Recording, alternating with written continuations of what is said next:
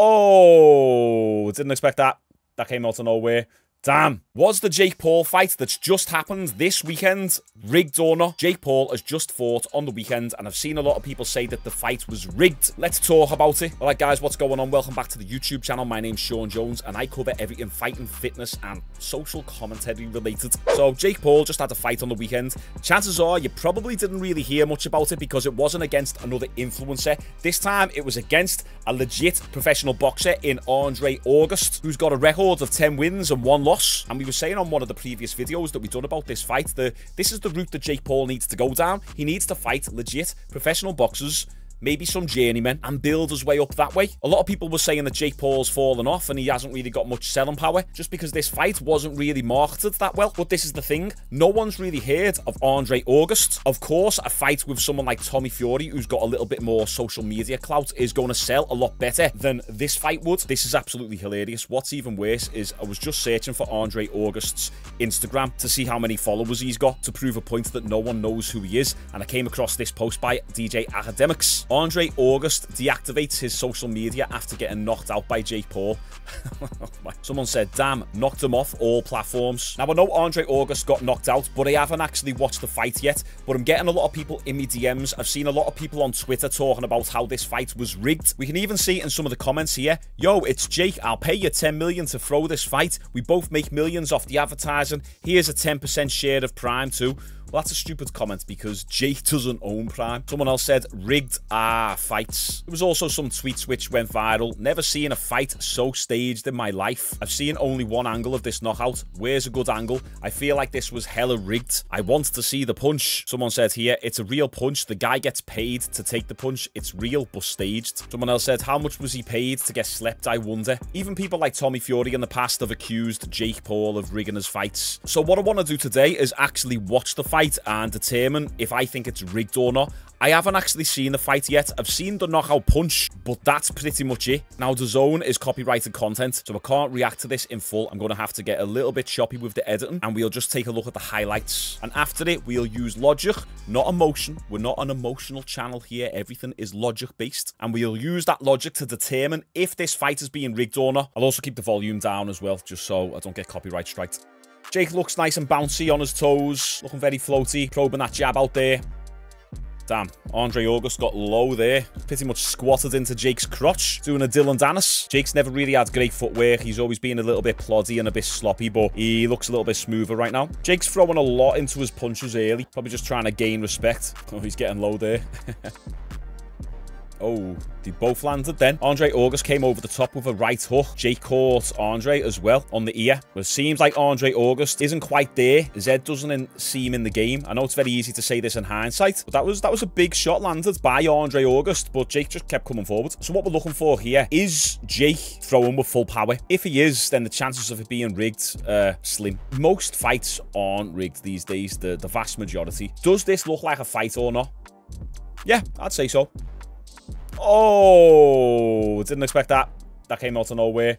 Damn, crazy. Fantastic adjustment by Jake there. Andre August kept ducking his head down and rushing in. And you've seen a few times when his head was pretty much by Jake's crotch. Jake anticipated that. He made the adjustment and went for the uppercut. That might have been the only uppercut Jake threw in that fight. And it landed clean and flush. I mean, looking at this, are there any signs that this fight was rigged? Not at all. I think it may be time to start believing in Jake a little bit more. He's getting better fight to fight. We have to remember he's had less than 10 fights total. It's just usually professional boxers wouldn't have this amount of attention on them at 10 fights in. Usually they've got to get 25, 30, 40 wins before anyone even knows who they are. So people saying these fights are rigged, I mean, they probably just Jake Paul haters at this point. Now, I understand hating Logan Paul because Logan is a little bit of a sociopath and it's a lot easier to not be Logan Paul's fan. And this is coming from someone who never really used to like Jake Paul. But we have to kind of respect him for getting in there and he's doing it the right way. He's legit trying to prove himself. Now, Jake Paul is hand-picking his fights and it's kind of like a lose-lose situation and a catch-22 for Jake because really his next five, ten fights are probably going to be something like this against journeyman, against people who've got like a somewhat okay record, but not too experienced, in order to just pad his record a bit and get him to 20 wins and only one loss, because that will make his name within boxing a bigger draw, and people within the boxing community will start respecting him a lot more once he's got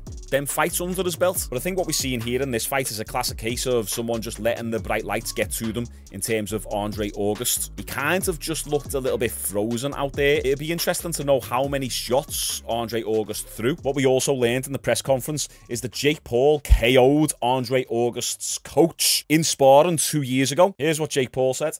Did your coach tell you that I dropped him in sparring too? Or did he not tell you that?